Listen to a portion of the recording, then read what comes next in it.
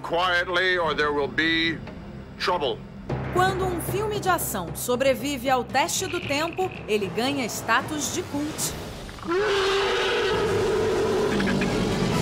Arnold Schwarzenegger integra uma equipe de soldados em missão numa selva sul-americana. Eles só não contavam com a presença de um alienígena predador que destronaria o homem como espécie mais poderosa do pedaço. Esse é o clássico que gerou uma franquia e derivados. If it bleeds, we can kill it.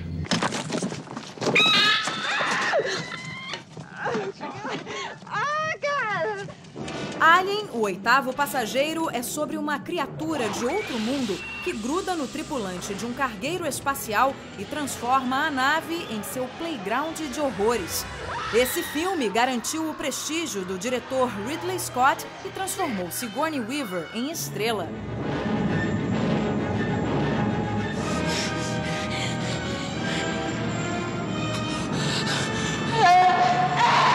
Maratona da Morte, do diretor John Schlesinger, traz Dustin Hoffman como um estudante que descobre da pior maneira o envolvimento de seu irmão com espionagem.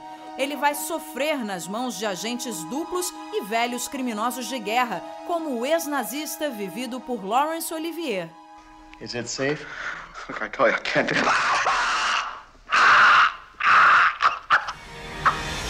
Marcando a estreia no cinema americano do holandês Paul Verhoeven, Robocop, o policial do futuro, mostra uma corporação usando o corpo de um tira morto em combate ao tráfico para a criação de um androide com superpoderes.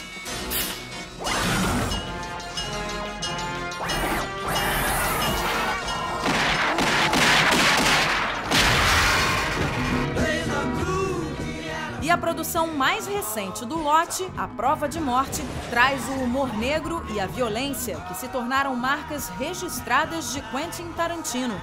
Kurt Russell é Stuntman Mike, psicopata das estradas, dono de um carro indestrutível que adora detonar belas incautas por onde passa. Remember when I said this car was death proof? Well, that wasn't a lie. This car is 100% death proof.